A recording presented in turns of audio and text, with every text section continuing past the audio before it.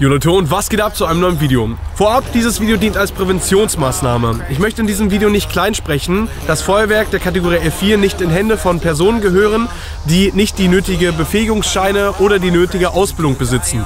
Feuerwerk der Kategorie F4 ist illegal in Händen von Menschen, die nicht 26 Großfeuerwerke mit aufgebaut haben und eine Prüfung abgelegt haben. Demnach dient dieses Video lediglich als Präventionsmaßnahme, um Verletzungen an Silvester zu vermeiden. Viel Spaß mit diesem Video.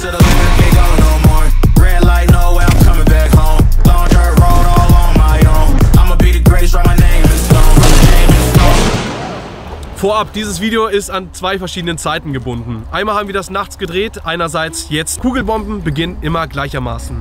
Zum Anfang hast du eine Stupine. An diese ist entweder eine grüne Visco oder ein E-Zünder geknüpft oder vielleicht sogar gar nichts. Dann musst du eine grüne Visco hinzufügen, wenn du diese nicht mit einem E-Zünder versehen möchtest und diese mit einer E-Zündanlage aus weiterer Entfernung entzünden willst. Anliegend kommt sofort eine Stupine.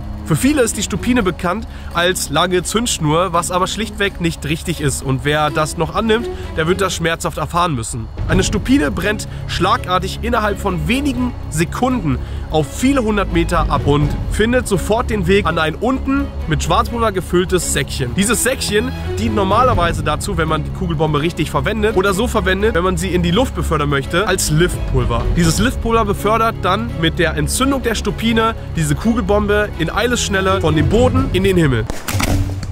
Wo es dann bei Entfaltung einen wunderbaren Farbring oder eine wunderbare Farbentfaltung erlebt. Zur Veranschaulichung, das ist ein GFK-Mörser ausgerichtet auf Kugelbomben mit einem Umfang von 6 Inch oder genau genommen 150 mm. Es gibt auch viele andere Variationen. Für jede Kugelbombe benötigt es einen eigenen GFK-Mörser, wie zum Beispiel 2 Inch, das sind 50 mm, braucht es ein etwas kleineres Mörserrohr. Die Kugelbombe wird im besten Fall perfekt in dieses Rohr hineingelassen. Mit etwas Vorsicht, denn bei einem Schlag kann es dazu kommen, dass das Liftingpulver sich unten, vielleicht auch beim Transport, etwas verirrt und vielleicht auch Reibung entsteht und dieses Liftingpulver entzündet. Sollte das passieren, seid ihr erstens taub. Zweitens, wenn ihr ein Körperteil oder euren Kopf darüber habt, seid ihr entweder kopflos oder gleich tot.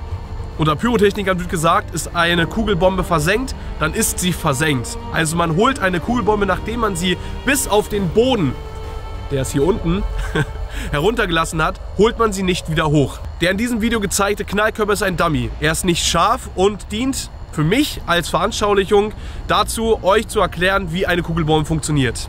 Ihr seid nun abschussfertig und möchtet den eben beladenen Mörser richtig positionieren und die Kugelbombe innenliegend in den Himmel befördern. Hierbei ist es wichtig, dass ihr zwischen dem Mörserboden und dem Boden selber, sprich Erde, Beton oder Sand, keine Luft lasst. Kommt es dazu, dass ihr etwas Luft lasst und dieser Mörser ist vielleicht schon mal öfter verwendet worden oder hat vielleicht einen kleinen Knacks, könnte es dazu kommen, dass sich dieser Boden hier durch den Druckaufbau der Kugelbombe löst und nicht genug Druck aufgebaut werden kann und die Kugelbombe nicht in die herstellergewollte Höhe befördert. Es kann sein, dass die Kugelbombe einfach nur hier rausfloppt und euch direkt auf dem Boden explodiert. Und so einen heißen Magnesiumstein möchte niemand im Gesicht haben. Es ist 0 Uhr, ihr seid voll im Rausch, ihr habt die erste Kugelbombe in diesen Mörser verladen und entzündet und sie hat in der richtigen Höhe die Farbentfaltung gefunden und viele Menschen um euch herum glücklich und einen schönen Schritt ins neue Jahr gewünscht. Nun seid ihr voll im Rausch und möchtet die nächste Kugelbombe nachladen, doch hier passieren genau jetzt die größten Fehler. Ihr müsst diesen Mörser unbedingt in die Luft nehmen und einmal drehen, denn hier drinnen kann sich noch etwas Glut von der eben abgefeuerten Kugelbombe befinden und ihr müsst diesen eventuell auch etwas mit Druck auf den Boden schlagend entfernen. Kommt es dazu, dass sie das nicht tut und ihr möchtet die nächste Kugelbombe vielleicht mit dem Blick darüber noch in den Boden befördern, dann findet die Glut sehr schnell Anbindung an dem jetzt neuen Kugelbombenlift. Sollte das passieren, dann wird eure unmittelbare Entfernung zum Mörser sehr, sehr schmerzhaft für euch. Entweder für Ohren, für Augen denn wenn die Kugelbombe jetzt den Weg aus dem Mörser findet, ohne dass ihr mit der Zündschnur in Kontakt gekommen seid und den nötigen Sicherheitsabstand gefunden habt, dann seid ihr auf jeden Fall für den Rest des Abends oder vielleicht für längere Zeit komplett Knockout.